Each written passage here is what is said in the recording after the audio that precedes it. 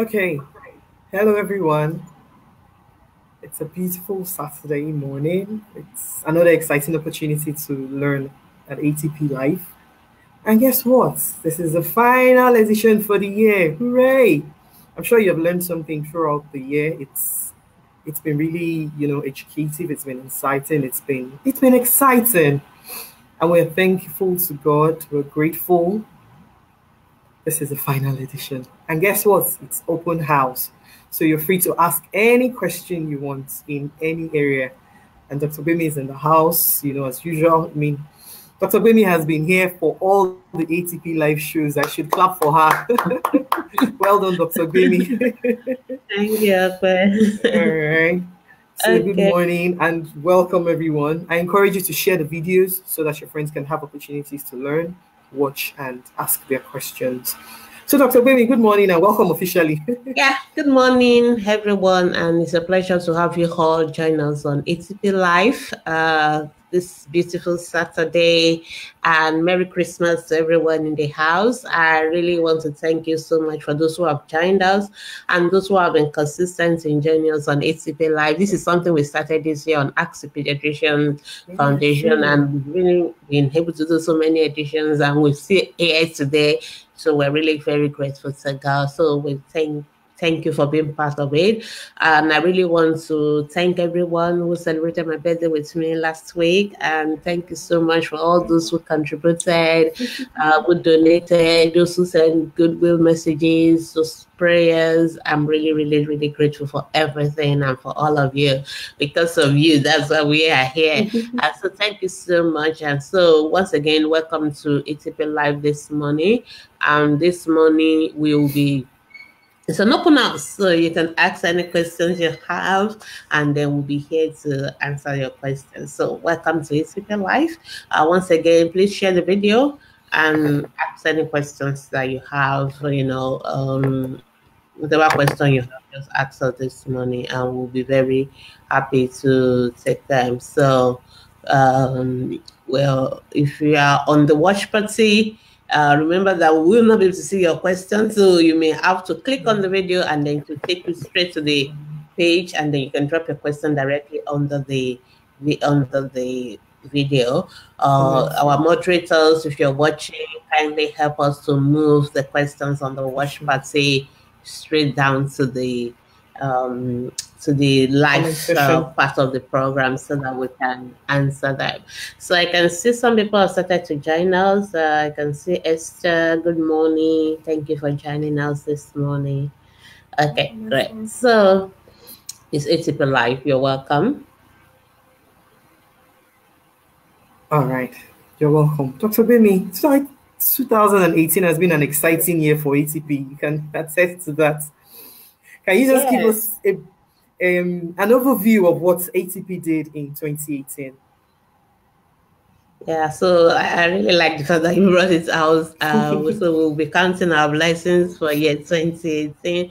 I think year mm. 2018 has been a phenomenal year for us on Ask the Pediatricians as far we went from you know, just being local and just being uh, doing our own thing in our little canal to becoming international. So it has been so an amazing year. So we started, you know, in 2017 doing outreaches in one state or the other. But in 2018, we went beyond Lagos State. We've always done Lagos mm-hmm. State. In 2018, we went to Kwara. We went to Kwara twice. We went to like five other states. We went to Abuja. We went to Imo. And we were able to reach more children. I think we reached maybe over 5,000 children uh, in year 2018. And that's, to me, it's very phenomenal. We were able to commission the uh, the school building that were renovated for uh, the Mansha community, and it's quite phenomenal. And each time I see the picture of those children, no longer learning in the uh, under the tree, but On the in ground. the setting. I mean, it's really so amazing. And you know, one thing is that when you are just there doing your own little thing, you don't know that some people are taking notes of that. Mm, and true. that same year, 2018, uh, we applied for the Facebook Fellowship, and out of 6,000 applications, only 46 were chosen, and Ask the Pediatrician is one of the two communities that was chosen in uh, Nigeria. and so that shows the impact that, so it's not just being a local champion, but the international community was able, so I was privileged to go to US and to represent all of us, to represent pediatricians uh, in Facebook headquarters and to tell them what we do. And many people were so amazed at what we've been able to do. I was able to appear on the BBC live uh, radio and you know talk, talking about Ask the Pediatricians Foundation. So it has been so amazing, and we got that grant. We're going to get a grant of fifty thousand dollars from Facebook and we are already, you know, planning what we're going to do. So we're looking forward as we go into 2019. We have so much uh, to, to do, and we've gone from spending. I think what we spent for the whole year of 2017 in, in the first quarter of 20, in the first half of 2018 alone, we we, we spent it already. I mean, that's us. Because we run ATP year from uh, July to July because we were officially registered as a corporate entity July. in July 2017. So what we when we audited our accounts, I mean, what we spent for the whole year of July 2017 to July 2018 in in in those this uh, from July 2018 to this December, we even spent over that already, and that means we've not even gone half of our year, and that shows how exciting to so and we're looking forward in 2019 to ATP going in I mean all the states of the country. Everybody is saying oh, when are you coming to when are you coming? Everybody is saying when are you coming to my home community? When are you going to do outreach in our community?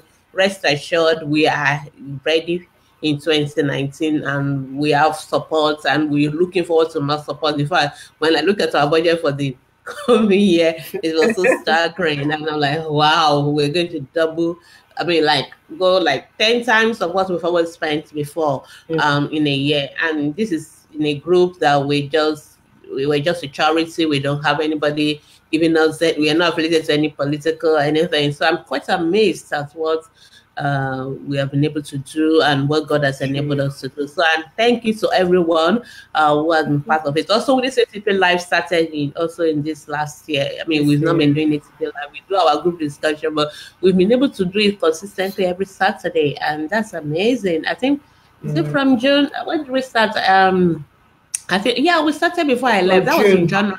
Yes. Yeah, we started and we've been able to run it and so many videos. Uh, I'm really amazed as what we've been able to do. So we thank everyone and we thank God for the grace and the privilege. Okay. So it's like our questions have started to arrive. So let's All start to answer right. them. okay, this is from Amadi Chin Chinyere. Treatment for constant cough. She's asking what's the treatment for constant cough. Okay, uh, Amadi, you didn't. Number one, good. Thank you so much for your question, and thank you so much for joining us. But you are not very specific. Is this question for an adult? Is it for a child? Mm-hmm. And when you say constant cough, how constant is constant? How long has this cough been going on? Uh, as I always state in ask the pediatricians, and as I always always uh, tell uh, people on our Facebook group, doctors, we are not magicians. We, they, they, you can you are not even asking me what is causing the constant cough. You just want to know what's the treatment. To make doctors work, I think we have to know what is causing your constant cough because there are so many things that can cause constant cough. And that it is the cause that will determine the treatment. And and for me to know the cause of your constant cough, I need to ask you a lot more questions. I need to ask you how long the cough has been going, what time, who is affected, is it an adult or is it a child? Because the cause of constant cough, which I assume means chronic cough in a child, is quite different from that of a baby. You know, so those are all the questions I'm going to ask. And before I, after asking that question, then I will need to examine your chest and all that before I can now know. I may even need to send you for a chest X-ray before I now know what is causing your cough. You know, because wow. it could be something as simple as pneumonia, chest infection.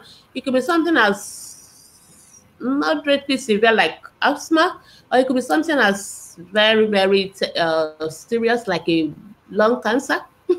so, or it has a, a hole in the heart. So there are many possible causes. So I'm really stressing this so that when people ask questions on ATP and they like, why are you always telling us to go to the hospital? This is why I'm, I'm trying to explain it. I know we've always said it, but I'm not going to be tired of saying it because that's one of the culture we're trying to promote on ATP. Yeah. We want you to know we educate you ahead. Our goal on ATP is not to treat you. Well, I've always stated we're not an online hospital. Our goal is not yeah. to eh, uh, to make a diagnosis. We can't because there's a limit to what you can do online. Our goal is to give you information, educate you to know that this is a condition for hospital. This is how to live in good health. This is how to promote good health. That has always been our goal. So we don't advocate, we don't make diagnosis, we don't treat. And the reason is what I'm just stating up because there are so many possible reasons why you could be having constant cough. So once again, I'm just going to uh, encourage you to see a doctor who will ask all those questions I'm trying to ask you now, who will examine you, who may send you for x-ray, maybe some other blood tests, and based on that, we now know the cause of your constant cough, and then we'll be able to tell you uh, this is um, uh, the treatment. So, um, depending whether it's a child or not. So, uh, if a if somebody is having cough longer than two weeks, we call it chronic cough. Any cough has been going on for more than two weeks is too long. It's mm-hmm. chronic, and that person needs to be seen in an hospital, you know, for proper evaluation and treatment. I hope uh, Chinyere you understood, and I hope all the other ATP members, because sometimes you know, we, we have our complaints is getting less. Thank God. Thank you, guys. We're learning, we're learning. but people don't seem to understand us initially when we start. They were like, You are a doctor, I'm already talking to you, so why do I need to go and see another doctor? but they don't understand. I can't be doing shit chats back and forth on, on, on, on social media, and I can't examine you on Facebook. So there's no way I can treat a child on Facebook. The only thing I can tell you that drop everything you're doing now, go to the hospital. This is something, oh, it's not something to worry about we can give you education around that, but we cannot make diagnosis. And that is one of the reasons we also don't prescribe medication. We can't treat people because there's so many things involved in that. Thank you. All right, thank you, Dr. Gbemi. Okay, we have another question from Akinyemi. Okay, Dr. Gbemi, my question is this: My baby of three does not like to eat till 11 a.m. in the morning. Should I be worried? I don't understand that question. What time does the baby wake up and what time? Because I could imagine that your three year old, I don't know what time the baby wakes up. If the baby wakes up at 10, for example, and doesn't That's want to take fast until 11, I mean, I'm not going to be worried. But if I know a typical Nigerian mother, your baby is awake as early as 7 or 8 a.m. because maybe baby's even going to school and all that. Maybe you're a self-employed mother. Maybe that's why your baby is with you at home. Maybe some of us that are going to office for 8 or 9, then your, your three-year-old is already in school.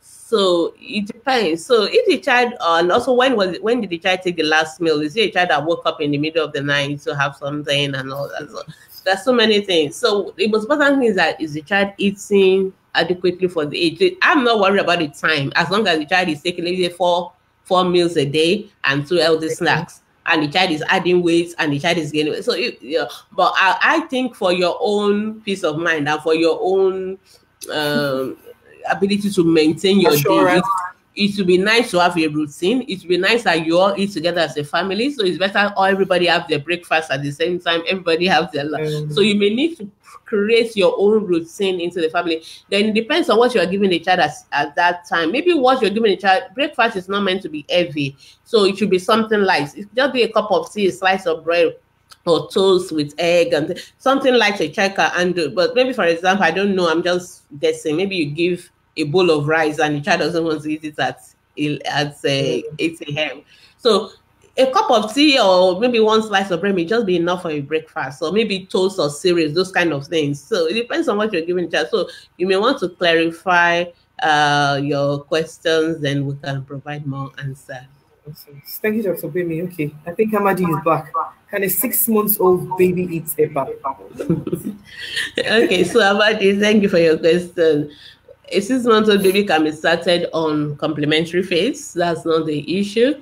But the issue is that you grade it. So you oh. start with semi solid and then gradually progress to solid. I can imagine that EBA is really a bit heavy to start with. You may want to start with something semi like like porridge, like pap, things like that that are not. So the child is going for completely liquid milk, breast milk diets. You you don't want to start the child on eba unless you make it like really very soft, very you know not the kind you will throw on the wall that will bounce back to you but the soft one that that you with a lot of vegetables like maybe okra soup or or a, do you know green leaf uh, uh, soup those kind of things so that when the child is taking is really really soft but otherwise, I don't want to. You, you can't go and give. But I know some people tell me, oh, when I'm eating my own eba, my six month old is really interested in eating and want to. That's fine. But please make sure whatever you're giving a six month old is really really soft and semi uh, solid mashed. Uh, you may want to go and do our unit courses. If you are one of those, listen to me, and you have not done our unit course on nutrition 102, you, you need to really do it. It's very interesting. It's very, oh, it's another visual kind of a course. You just watch short videos, very practical, very broken down. So you need to go to ATP Facebook group. When you get to our Facebook group, even it's available on this our page as well. If you go to the video section, but in the Facebook group, we've already put it under what we call units. If you just look for what is called units, when you click on the unit, you will see Nutrition 101 on um, breast milk. You will see uh, 102 on complementary feeding. You will see other units because it's like all our ATP live videos, all our there's one on speech and language and all that. We're going to do more in terms of units next year, but these are the ways by which you can. But I strongly recommend for all mothers that they should do the unit course on uh, nutrition complementary feeding. Especially, I think by now most mothers are already getting us when it comes to uh to breastfeeding, but they are still struggling with the complementary feeding. So I really want you guys to to to learn that. Okay. All right, thank you, Dr. Gbemi.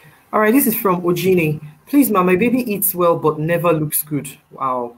I don't what understand that question. Good? I'm not so sure what you mean by never looks good because as, as a pediatrician, I really always want to know what mommy means. Uh, I mean, when they ask mm. questions. So are you saying the child is not adding weight, is not big? Weight. Or are you saying the child doesn't some people may not may just even be that the skin of the child. Maybe they, they want the child to keep looking with oyinbo pepper and the child is looking black like me. Or black. so, um uh Claribel, I would really appreciate if you really be more specific.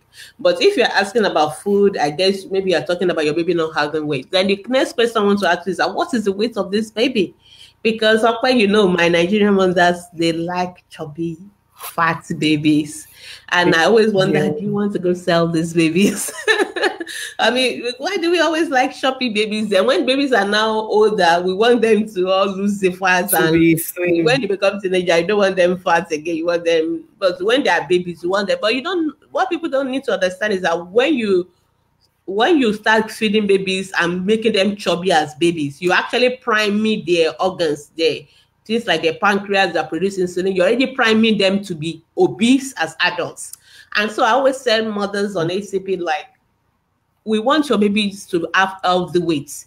We don't want chubby babies. We want them to be healthy. So a baby may be healthy without necessarily looking chubby. And when I mean chubby, you know, fat cheek, fat, everything, mm, you know, like that. we don't want that. As long as your baby has a good weight. And you know what mothers normally do is that they compare their babies to With their friends' babies. babies. So they look at all the because all the mothers will bringing out the babies and they will everybody is looking at oh my baby uh, we all born at the I mean all these babies were born at the same time and they want to see whether all the babies are are looking that fat together. No. So your baby doesn't have to look fat. And if you're also from the family where you guys are, you know, slim feet, you, you can't expect your baby you to be very big and all that. So it's also there's genetic power. But the most important thing for us is what is the weight. Before you say your baby is not looking good, I need to know the age of the baby. I need to know the weight of the baby. The I need weight. to know whether the baby was born at full time or your baby was born premature because even babies that are born premature we need to correct for that as well when we're looking at their weight so these are the things that will help me to know and if your baby is otherwise healthy your baby is not sick and all that those are the important thing for us those are what makes a baby look good to a pediatrician having the appropriate weight for age being healthy, not free from sicknesses, illnesses, and all that. That is what looks good to me as a pediatrician. Maybe I'm not sure whether that's the same thing you meant eh, because I so you may want to tell me what you mean. So I don't want to assume I know what you mean. So I, let me just leave it at that so that I don't go overboard. All right. Okay. Thank you, doctor. Yeah. All right. Here we have oh, Claribel again. Has done the pool more than five times yesterday. Okay. So Claribel, you really you really need to read a lot more on our Ask the Pediatrician Facebook group. So again, you, for me to even answer this question, I need to number one know how old your baby is. I'm trying to look back whether you've told me the age of your baby.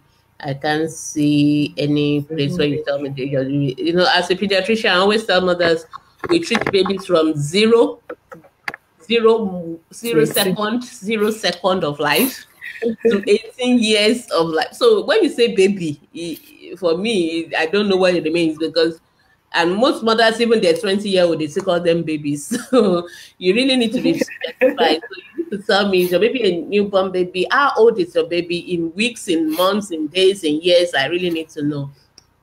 And then that will tell me whether five times of pooing is something to worry about okay, or not. I oh, can just give you a general rule of the thumb.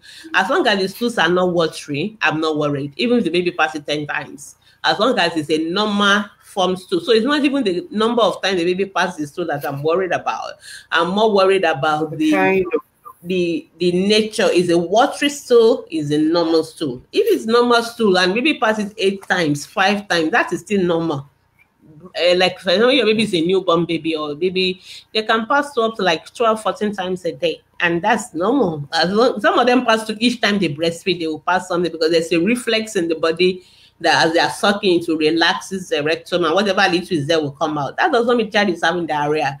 As long as the stool is not watery. And watery stool for a newborn, like eh, or a baby, less than six months, is actually like when the, the stool looks like urine as per like water, it sink completely into the diaper. Not that not, not because your the stool are not going to look very solid, well formed like that of you and I. It's is going to really be semi-formed, like you know, we say something like uh, melon soup or egusi soup. So that is not diarrhea because sometimes mothers always worry about those things and say, oh, my baby is having diarrhea. No, that is still normal stools for them. So I think we need to really be bringing to break down. So Claribel, if you still want me to clarify your question, you can say put it more. I hope you are listening. Yeah. So right. This is from a couple Pat. My children eat bread and butter a lot. Does it have any side effects? Bread and butter. Okay, bread and butter. Okay, I think we've done um, one of the one of the things I'm going to say is that please, as where ATP is going to break, we're going to break um, from uh, Christmas 24. Eve to the seventh of January. I will encourage you to watch all our previous videos. I will encourage you to read up all the things we've done. So we've had a whole lot. It was last week or two weeks ago. We did a whole lot on nutrition, dietary choices in toddlers and things like that. So and I was mm. telling mother that there's no bad food and there's no good food. All food are good. But what we want you to do is that food should not be taken in isolation. They should be taken in combination. So we want you to take, and we talk about the different classes of food. Okpe, can, uh, was were you the one with me or Vera? I'm yes. not sure now. But I'm yes, sure you. I was, I was. So we should, you should, so bread is uh, energy giving food or, or carbohydrates. pyramid. Water is fat. It's also energy giving food. And we, we, we show you the food pyramid. I think I still have that food pyramid somewhere here. I will, I will, I will put it up later. So we show you the food pyramid. The most important thing is that you must give food from each of these. I will worry if your babies eat only bread and butter every day. I will definitely worry about it. But if they eat bread and butter, oh, okay, I have the food pyramid. Let me show it now. Okay, so uh, I'm not sure whether you can say it. So you can see what this is the food pyramid. The fat is almost towards the end. That means they need to take a little quantity of it. And the the lower part is the um I think I have a clearer one. I'm looking for a clearer one. The lower part of it is the uh, the lower part of it is the uh, the carbohydrate or energy giving food and all that. So you need to take food from each of these classes. At least each time you're making you are making your food plate, your children should have nothing less than four out of those four six portions. classes of food on the plate. That, that's the most important thing.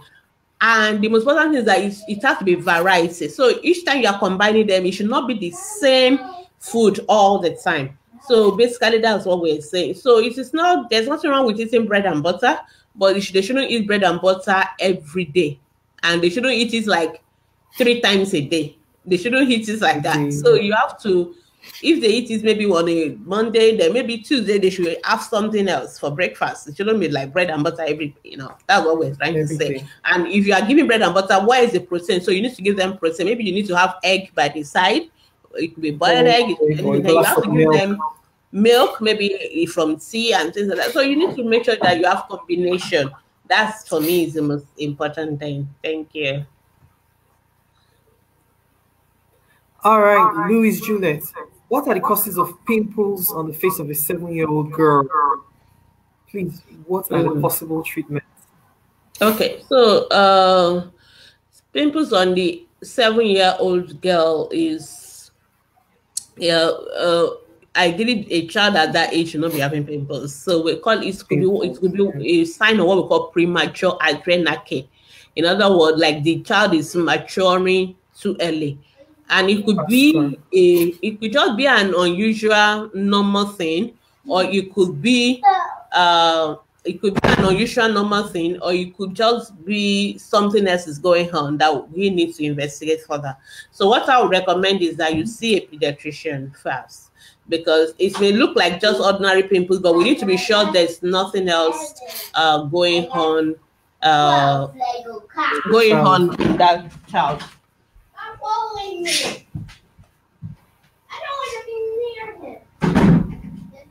So basically, that's what I would recommend that you should do uh, to make sure that um, uh, uh, to make sure that the, these pimples we are talking about is not something more sinister or something that require further investigation. But I think I would recommend you see a pediatrician, preferably who we call pediatric endocrinologists. They are the experts in that because it's not it's not and please don't focus. I know everybody is always asking, what's the treatment? What's the treatment? The treatment is not always the most important thing in all conditions. For us as a doctor, the most important thing is what is the cause? What is the cause? And the reason why I have to really sound this warning is because sometimes people focus on treatment, they don't focus on the cause. And because of that, they end up coming late to treat some very, very bad mm-hmm. Uh, underlying conditions. You understand? For example, I'm not trying to scare you, but a child who have this kind of condition may have a brain tumor, for example, that is producing those hormones that is not supposed to be. So if you just go and be buying acne cream or all those kind of things, you and delay mm. taking that child to the hospital, and then of the day, the child comes to us very late. And sometimes, even if you are in the best place in the world, there's a limit to what can be done if you come too late. So, uh, if there's any message I'm going to leave today is because is that whenever a child is sick, please don't focus on treatment. Focus on why is this child having the symptoms. The same thing applies even to common things as fever. People just oh fever, just give paracetamol, keep giving paracetamol, and then you give. I, I, we've had people telling us they give me paracetamol every day for months, and even the advert says after two days see your doctor. there's a reason why they put that in the advert. I don't know why people don't think it's very important. There's a reason why that, that clause is there. Is because after two days, if the fever is not going, there's something causing that fever that is really serious, and the doctors must investigate it. So when you ask those questions, please don't be concerned about treatment. The treatment is the easiest thing to do. Once you know what is causing it, because if you don't know what is causing it, then you just be keep giving treatment and you'll be giving uh, like my people will say, you'll be giving the treatment for headache, for stomach ache. oh, I don't know how to say it now. And that is a very, very valid uh, proverb. What it means is basically that we need to know what is causing the problem before we know the treatment. And causes of, of whatever symptoms are not always often apparent. So we, we doctors, we don't claim to be magicians. We don't claim to to know, you know, it's maybe babalawos are the one that when you tell them they know. We we have to do our own, we are like investigators, we have to do our own research, you know, do some tests, ask you a lot of questions. People, sometimes we don't see no, even after asking you questions, we don't see no after taking examining your baby. We still need to do tests. Sometimes even after doing basic tests, we still don't know. Sometimes we need to do more uh, expensive tests you know, so people need to understand it because sometimes people get frustrated with the medical process and they want to go for something quick fix, but it's not. It's not always the best. I hope I'm mm-hmm. sounding a message. So this is not even to the person who is asking this question. This is just a general uh, information for all of us to know. Yeah, yeah. All right, thank you, Dr. Bindi. Please educate me on how many times the baby should take juice yeah, Amadi. Yeah, what kind of juice are you talking about? yeah, Amadi Chinyere, you really need to do that nutrition 102 course. I, I I think that's my Christmas gift to you.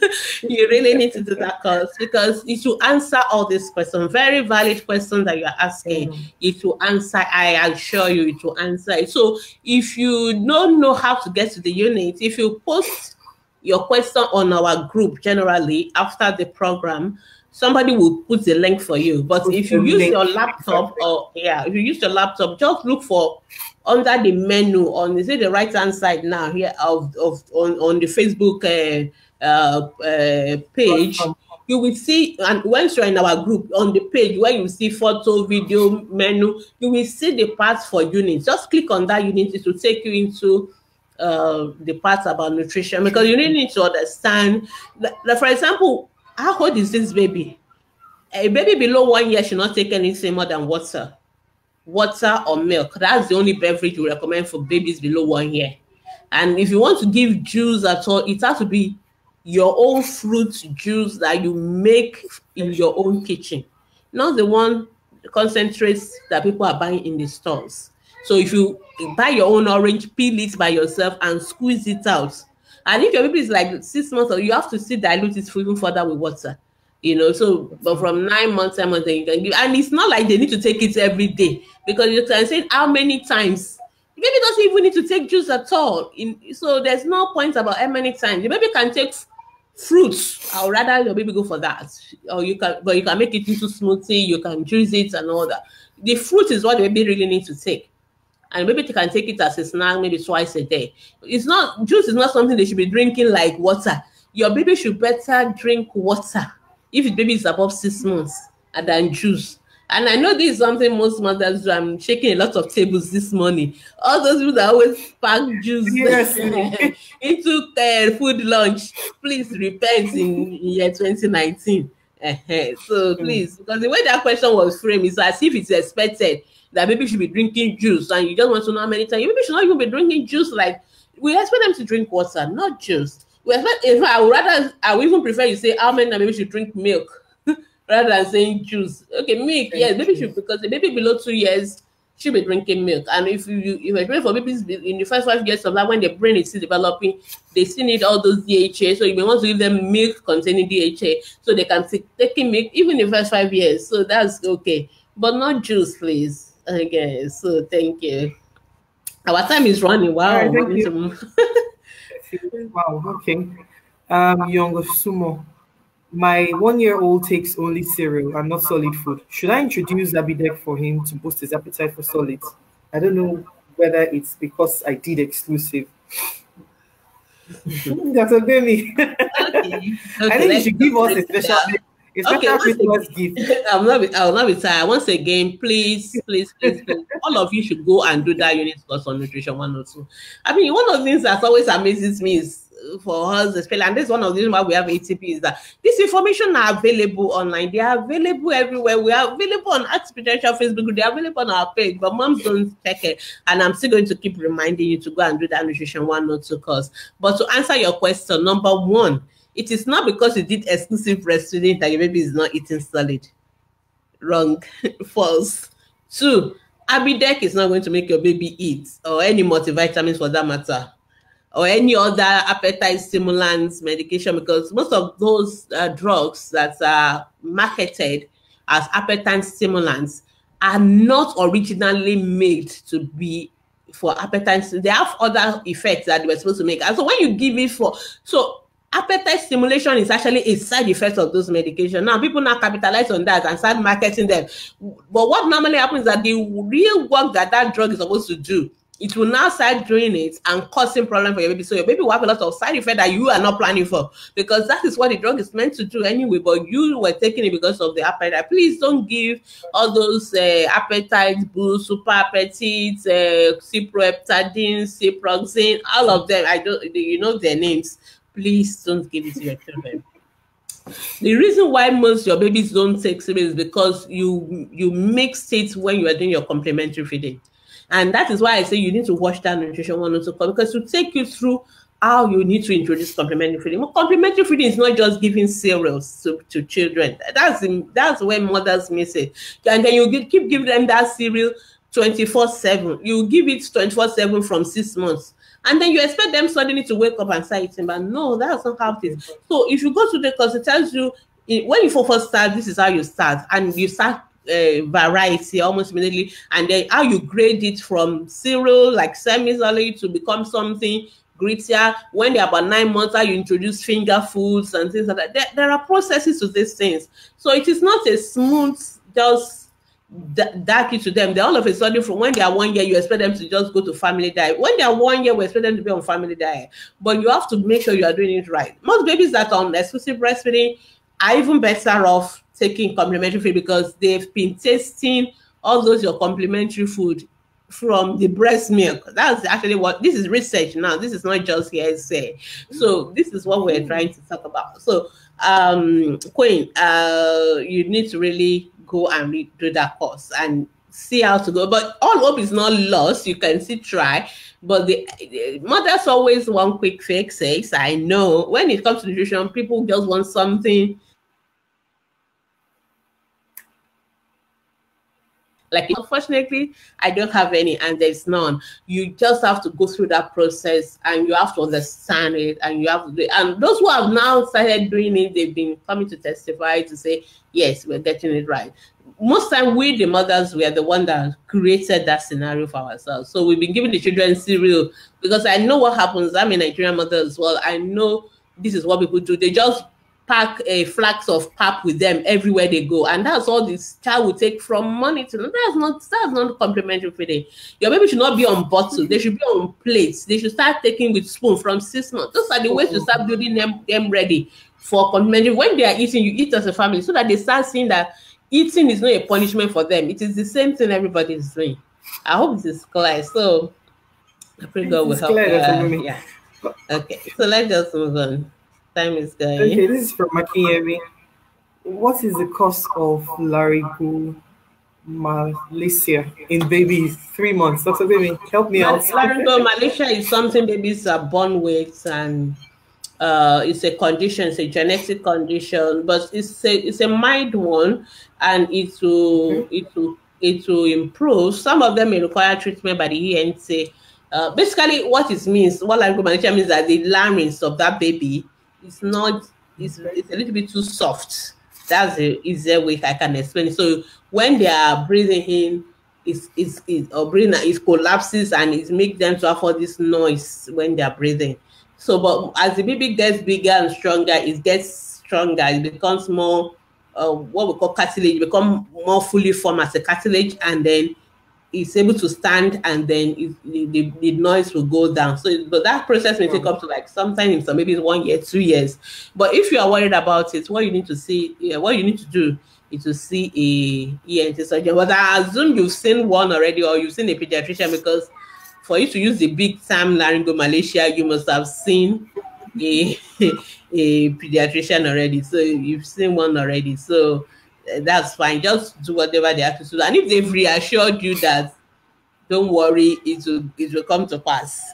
Just relax. I know mothers, sometimes people think um you must they must always be doing something about everything. And, and I, I know that's very common for us in our culture. You always feel like I must always be doing something about everything that is going on. But sometimes in medicine, in pediatrics, there are times you don't do anything and doing nothing is actually good in other words, it's not every time you have to do something. Sometimes doing nothing is good. I know you say it sounds very ridiculous, especially to mothers, because mothers are like they want to fix everything for their children. It's a maternal instinct. The fact that your child is making that noise, you just like, ah, no, I must fix it. And when you've seen the pediatrician, the patient said you don't do anything, don't worry to go sometimes people are not satisfied. They just feel like maybe I, we should have given them one injection or one um, something, one something, and oh. And sometimes there's really nothing to give to you. so just relax. It will come to pass. I can assure. You. Sometimes the ENT can give you vitamin C or calcium, but most times, if, if it's not so bad, it's resolved on its own. Really, that's the honest truth. It's, don't need to worry. Okay, we're moving fast now. So we have relax. okay, Uchechi Dennis. Good day, doctor. My son's right ear is bringing out water and pus. I've been to last and were given April before we can see an ENT. I can't afford a private ENT hospital.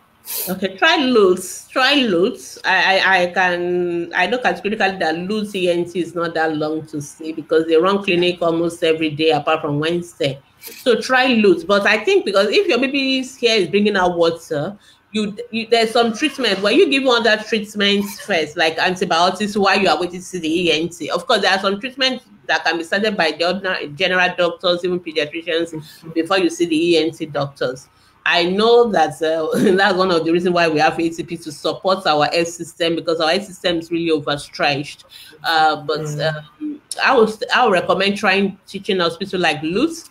Sometimes even going nearby to Ogun State. I know Babcock and the rest of them. They are not as busy uh, because Lagos State is really quite uh, a heavy um, and there are ENT mm. in other places, not only LASU that have ENT. I think Orile Agege General Hospital has ENT. I think General Hospital Lagos has ENT.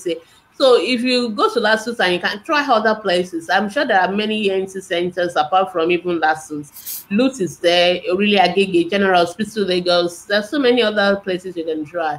Or you can go to neighboring states. Babcock and the rest of them also have uh, uh, ENTs that maybe are, are able to help Sorry about that. Okay. Yeah, next person. Toyosi Odeyemi. Good morning. Please, my seven months, I'm seven months pregnant. What can I do to increase my pelvic in preparation for delivery? Increase your pelvic. Please, so this uh, ask the pediatrician. So I think that should be directed to the, the family physician. Yeah, family ATP family. So you can go ask. Uh, you have a gynecologists, uh, family physicians, you have all of them. But I'm, I'm not so sure there's anything you can do to increase your pelvis. Your pelvis is your normal structure. So if your doctors have told you that your pelvis is narrow, hey, but let me answer that question because that's the part that concerns me as a pediatrician. If the pelvis, if the your gynecologist or your doctors have told you that you have a narrow pelvis and they've recommended cesarean section yes. for you, please let them do it.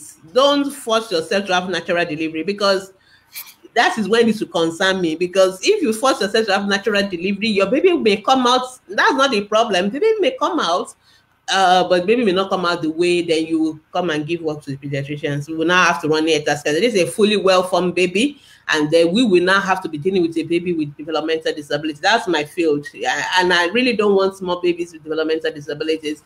But I don't know why people are always so scared. There's nothing wrong with having cesarean section. There's nothing wrong with it.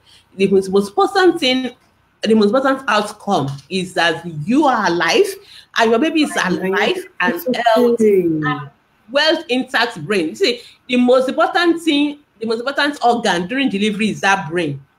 And if you watch our last week episodes, once the brain suffer any injury, it does it. There's nothing that can be done to reverse that injury.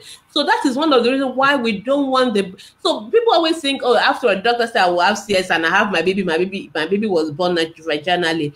That is good, but the most important is that was your baby born with an intact brain or your baby has suffered brain damage from asphyxia you know. So for me if your pelvis is narrow don't bother about widening your pelvis. Just go for elective cesarean section. Let them bring out that baby so that people like dr baby will not have to be running head over your baby later on in life. Um, and I, I'm, I'm saying it jokingly but i'm very very serious about it. And especially for most of my listeners who are nigerians please it's very important it's not just for the baby to come out. We want the baby to come out with an intact brain. It's not that the baby will be a useful and we're able to contribute. I'm not saying people with disabilities don't contribute to the society, but we all know there's a lot of uh, resources that goes into supporting people with disabilities. And we are even in a country where the, we don't, we have not even started when it comes to disability support, unlike in other countries where they they have so much support in place. And even there, they are still trying to prevent some of these things, but we, we have not even started. So please, it is safer and cheaper in the long run to have a cesarean section and have your baby well and fine than for you to say you want to widen pelvis or you now force yourself to have a natural delivery and your baby has got uh, issues. Please, please, please, please don't don't do that. Okay. Ah, okay, yeah. So these people, yeah, they've come now to ask me the question. I have answered the question. Already. is back. Okay, yes.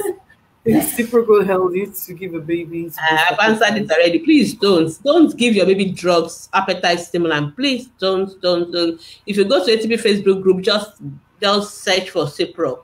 I've written out all the various possible side effects your baby is going to have. No pediatrician recommends it. It is not meant to be an appetite medication. Please don't give it to your children. I beg you.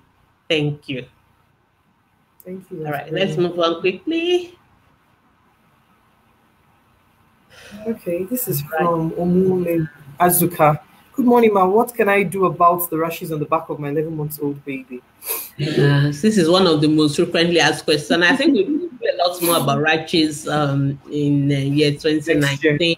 Uh, but unfortunately, rashes, most times we can't even just treat. See, people think, oh, once you see it, you know what it is. Like I was answering one question during the last, and now, you are even asking about rashes that I've not even seen. There's no way uh, we know what is causing these rashes. Definitely. Even the one I've seen, I'm still asking questions. Like a mother asked me last week on ATP, like, these rashes, is it measles or is it, uh, what is it?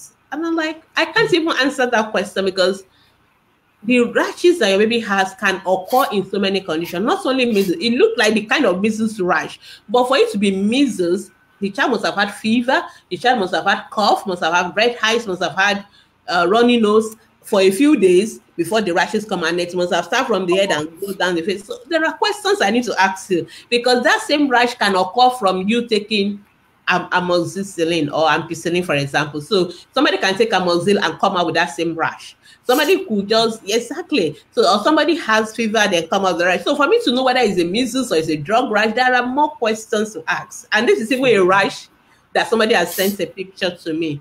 But for some rashes, I, we need to even say it right. So for your own question, I don't even know. I can't even see the rashes to start with. So it's very difficult. So what I recommend is to see a pediatrician or a dermatologist, especially if the rashes have been going on for a while. So so I really want people to understand why sometimes it's difficult for a pediatrician to answer some of their questions. I really wish you begin to get now. So, but I know uh, hopefully people begin to get also they begin to understand more. There's a limit to what we can do by just you telling us one line sentence. No doctor can make it from one line sentence, even or from one picture. You know, there are many more things to ask, there are many more things to say before we can answer that question. All right. All right, thank you. Blessing Olamide, is it okay to use a soft wash cloth and age appropriate toothpaste to clean the tooth of my eight month old baby? He has teeth already. Okay, yeah. So I mean, we recommend using toothbrush. Once the baby has the first teeth, just use toothbrushes. That's what is recommended. Nothing else. So toothbrushes are the best. Um, uh, that's what the dentist. So when before the teeth, you can use soft clothes and water after oh, even if it's one tooth, there are babies very soft toothbrushes, and there are fluoride containing uh, toothpaste for babies toothpaste. that have age appropriate. So most of them they are sold like milk teeth, milk teeth toothpaste, not your own regular toothpaste. So they sell it as milk teeth toothpaste. So you can start using that. So that is appropriate. Yes. Thank you. All right. Okay, this is from Testy Ben. Good day, doc. My baby has been running temperature for three days now. I ran a test on her full blood count. Nothing alarming was seen. She just completed a malaria treatment two weeks ago. Could she be teething? She's seven months plus. So who is the confused. doctor say? Who is the doctor say? So mothers, you are not supposed to be treating your baby. You should take your baby to the hospital. I don't one mother's taking decision by themselves. Uh, your baby has fever, then you decide to go and do blood tests. Your baby has you've given her anti-malaria. Please, there are reasons. Uh, there are reasons why it's important to see a doctor. Sometimes we don't even need to do a test to know what is causing fever. All we need to do is to examine your baby. Somebody just needs to listen to the chest of your baby. Somebody needs to touch the tummy. Those things are important. It is after examining your baby we will know. We may need to look into the throat. We may need to look into the ears. It may be hair infection. It may be tonsillitis. It may be throat infection. It may be so many things. But when you just see her home and just go and do blood tests, how will you know whether those things are affected? Mm-hmm. And I keep saying malaria and teething are not the only things that cause fever in children. Please I know. I really, I really wish I could write it in the slide for Nigerian mothers. The fever is malaria is not the only cause. I know malaria is quite common in Nigeria, but it is not the only thing that can cause fever in children.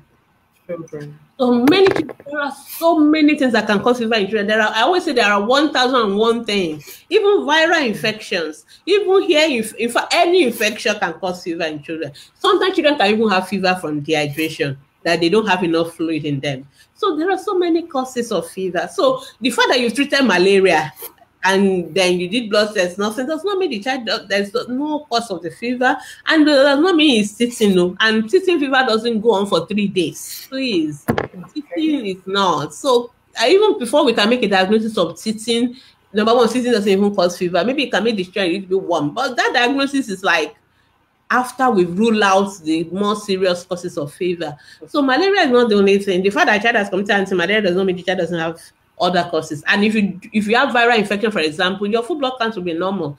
But the most important thing is to for us see a doctor, not necessarily a pediatrician, any doctor you can do, who will just at least look at this baby. Sometimes just look into the ears is enough to say, oh, is a uh, otitis media, mm. or look into the throat, we see the red inflamed and tonsils. Oh, we know what it is. Those are the things you cannot do as a mom. Please, also be sick more than two days, go to the hospital and don't go and be doing tests. I, Nigerian mothers have developed that habit, and it's a very bad habit. So they just take their children to themselves to the lab, and they just run the mm-hmm. test. It's not good. Without seeing a doctor, it's not good at all. And sometimes some of them post this for me to interpret. I say, no, we're not going to do that because we need to know the clinical setting before we can interpret. It could be even urine infection. Sometimes we need to do urine tests as well. So there are so many things that can cause fever in children that we really need to evaluate first. And it's how we fall for clinically examining the child, and then we can now, you know. So, uh, Tessie, please take your child to the hospital, and then we can take it up from there. Thank you. Okay, I'm not cheering. She's laughing. Thank you so much. yeah, she got in my message from you. okay, okay, from Kingsley. I think it's Dr. this is one of us, Kingsley Melike, yeah. Okay, she just okay. You have truly made for our generation, man. Thank you very much for the session. All right, this is from Adisunji. Please, why do some babies have boned leg? Okay. Is it bow leg? B O leg. I guess. Maybe uh, that's what I guess some babies have bow leg. It is natural. There's nothing wrong. I don't know why. I don't know why, but that's just it's, it's natural because babies' legs are not as um the, you know, the legs, they are the bones, they are how do I it? So the, the those bones, they initially they form as like so what we call soft cartilage bone. They are not like they don't have enough calcium deposited in them as well. So when children start walking and they start putting a little bit of pressure on those uh, bones, because they are not yet very solid, strong bone like yours, they can actually bend a little bit. And so that's why it's important that children have calcium and all those vitamin D so that their bones can fully form. So there's a little of it that there's a little bow leg that we call physiological. There's nothing wrong. But there's a very obviously one that suggests there may be something wrong, like maybe lack of vitamin D, like or lack of calcium and things like that. We call them rickets you know, which can come, it could be nutrition, sometimes it could be some other conditions. So there are many conditions that can cause it. So if, if you are not sure whether it is a natural one or is the uh, abnormal one, the best thing to see the doctor, either a pediatrician, an orthopedic surgeon, or a pediatric endocrinologist, any of us can handle that. Then we will tell you, okay, that we will do some basic blood tests and so based on this blood test, based on this bone X-ray, we think it's still the normal one, or we think there's rickets, and if it's rickets, we will treat it. If it's something that sometimes there are sometimes that the surgeons even need to operate on the on the leg. Yeah, so I think that's okay.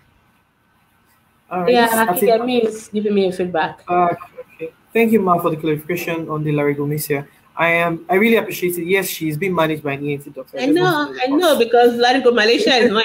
It's not a mommy's uh, diagnosis. You must have seen a professional. to even know the word. Get that. laryngomalacia, you must have seen a professional. It's not something you get from Google like that. okay. This is from John. Good morning, Doc. Please, I want to know if ah. giving my baby sleeping pill is okay, especially at night. that is scary we will arrest you. Please don't. Don't. Why would you even do that? Why would you do that? John, I, I know baby sleeping pills. Why would you even do that? For what? Baby is not sleeping. How old is this baby we're talking about here? Please this this is a form of child abuse if you don't know it and i'm, I'm, I'm scared that you're even asking at this public. Please don't. If you think your baby is not sleeping and you're worried about it you need to number one i need to know the age of your child. I need to have some information. Is he a child with some developmental disabilities or something? Because sometimes some of them struggle with sleep we know. But that should be left to a professional to do. A mother should never drug their children don't give uh, Phenergan, don't give sleeping tab, don't go and give the don't go and give Valium, don't go and please don't. The baby can stop breathing. That's the problem with sleeping tablet. They will just stop breathing and the baby can die. So please don't give sleeping pills. If your child is not sleeping for any reason, kindly see your pediatrician first let the pediatrician know and i keep emphasizing it why is this baby not sleeping?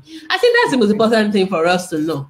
Sometimes maybe maybe it's not sleeping because your room is too hot. Sometimes it's mosquito biting the baby. Sometimes it's the uh, diaper is too wet. So these are basic things that you even need to sort out first. When you finish sorting it out if after you've done all and your baby is not sleeping then come and see us.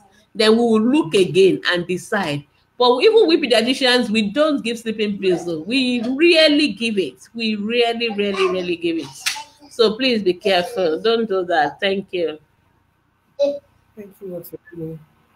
Okay, Adetunji. Please, doctor, is it okay to give a baby vitamin D when you stay abroad?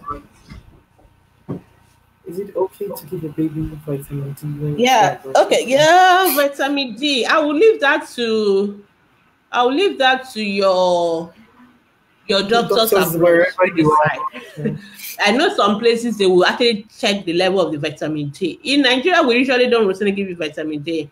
And we also have to be careful because some of the multivitamins you give routinely, like your, you know, your regular multivitamin, I'm not going to mention anybody any names in, they also contain vitamin D already. So you may need to be sure so that you, because vitamin D is one of those vit, fat soluble vitamins, it can get too much in the body. So you have to be very careful you're not giving too much of it. So discuss with your doctor, your GP. If they are not sure, they may ask you to do a vitamin D level and they may decide to give it. But if you are giving the regular multivitamins, you may you may have been giving it in, in advantage as well. So just just I will leave that to you. It depends on each country have their own standard practice. But I know in Nigeria we don't routinely give vitamin because we have abundance of sunshine and all that. So but that does not mean that we're not vitamin D deficient in Nigeria because sometimes we don't take our babies out anyway, so you have to be careful as well. All right, so let's move on. Okay, oh, we're ready. Time is up. Good morning, ma'am. Please, is it good to introduce homemade banana pudding to a seven-month-old baby? And then the second question: My seven-month-old baby pulled more than four times yesterday. Is that normal? Banana pudding is fine. Uh, I've already answered the question about the stool. Is the stool normal? Is it watery? If it's normal stool, fine. If it is not normal stool, that is diarrhea. If it is watery, it's diarrhea. Then you need to watch. Then you need when you are making your own made food for your baby, please. Hygiene is very important. Make sure you wash your hands very well. Make sure you maintain good hygiene. Very, very important. Very, very important. And also, when your children are that age, when they are sitting and crawling all over the place, make sure your environment is clean. Sometimes it's not even from your food; it is from the children touching all the dirty places. Put, you know, they touch things. Everything they take, they put it in their mouth. So you must make sure you sterilize your toys. You must make sure they are crawling in neat environment. These are the things that make these children to start having diarrhea. And then people think it's the teething. It is not teething. It is the dirty environment. It is the dirty toys. It is those things they're touching. And sometimes some mothers even think it's okay for them to be for children to be eating sand and all that. That is part of the development. No, and that's why our children have uh, diarrhea. And then everybody will now say it's the teething. It's not teething. These are the things that is causing it. All right. Okay. Our time is up. We'll just take the final questions we have. Amadi is complaining that most of us in Nigeria cannot afford hospital bills. Amadi. I don't think so. Nigeria hospital, especially the government hospital, most of them they are subsidized. You don't pay for consultation most of the time. You only pay for your maybe drugs and tests and all. So try, try, try. And anyway, that's why we're on ATP so that we'll teach you how to prevent so that you don't end up having to go to the hospital anyway. That's wow, just. I think this will be uh, one of our last questions. Time is up now. Good morning, doctor. My three months old baby has catarrh for like three days now. The other sibling had catarrh some days ago. I kept telling them to stay away from her, but they wouldn't go to their room. Whenever they saw there's no one to carry him. So I have not used anything because it's on EBF. I just believe the catarrh will run its course and go. Please, yeah. what can yeah, I, agree with you. Yeah, I agree with you. Your question is so long, and just always keep it short. Yeah. Anyway, I agree with you. If the baby is not having fever and all that, just leave it. Just keep breastfeeding, keep the baby warm, it will be fine. But make sure that uh, your baby is not uh, having uh, fever. So clean the is, is she's the one continuing that he knows it's not really running, it just releases catarrh. So it's fine just make sure you keep everybody warm and just make sure you keep breastfeeding the baby. If the baby doesn't, if the baby have fever or cough, then you have to take to the hospital. Thank you. Final question. Yeah. Okay, this is from Presh. Please, doctor, is it okay to give my baby cod liver oil at six months? And what is the function? You don't know the function of the drug you want to give the baby. because every other mother, because every other mother is giving cod liver oil, that's why she wants to give. So cod liver oil is supposed to be a source of some of those fat soluble vitamins and calcium. I think so. Uh, we don't routinely recommend some of those. Things. Like I always say, most of these things, if we do the nutrition. That's why we have to go and do complementary feeding. If you are doing your complementary feeding properly, you don't need to give your children excuse me, you don't need to give your children sure. drugs. You don't need to give them supplements. You don't even need to give them multivitamins. That's the honest truth. It's only because sometimes people are not sure whether they are giving uh, the, the food that they're giving is supporting all these things. Then that is why they are now like, okay, just in case, let me give multivitamin, just in case, let me cod liver oil. But you can also give all this from your natural food. So it is not necessarily and it's not compulsory. Amadi, uh, uh, okay, this is another, okay, this is another china. Yeah, okay, I thought it's, it's not chinere. Yes, this is okay. In fact, that's what you should be giving your seven month old. Your seven month old should be on homemade food made in your own kitchen you guys need to go and do that nutrition 102 course on complementary feeding. I think most people asking questions have not done the course. I know you've not done it because if you have done it, you, you will know the answer to your question. Okay, so well, our time is up.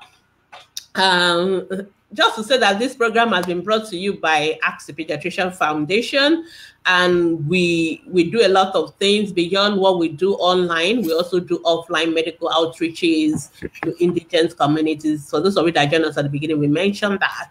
And just to let you know that you can always be part of what we're doing. You can support us. And you that's our account details showing there on the screen. And so it's going to be in 2019 we are going to be in all the states of nigeria and we are going to have outreaches in all the states. And you can imagine that's going to cost a lot of money.